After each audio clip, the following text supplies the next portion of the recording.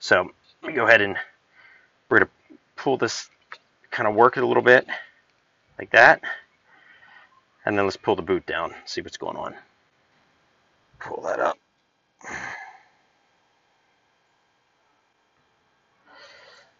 You notice it's moving a lot better than it did already. Just from banging it down, I was kind of working that, just kind of freed up a little bit. And these things here, as they get older, get dirty, things like that, that can seize up. That's why when you do your brakes, it's important to check all this. But even right here, it's already working a little bit better. Still not as good as that one, but a little bit better. So let's pull that up, slide the boot down. So we can see that, whoops, here we are. Pull that out. Let's go ahead and lubricate that real good, and then we'll work it back in.